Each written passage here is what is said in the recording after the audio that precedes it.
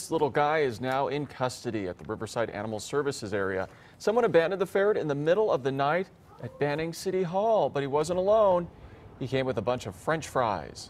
Apparently he was hungry and munched down on them with a pretty big appetite.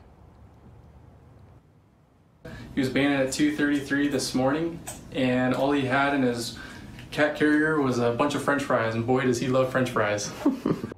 Apparently he chowed down on them all night long. And now Animal Services is looking for a rescue organization to take him in. That's because it's illegal to own a ferret here in California.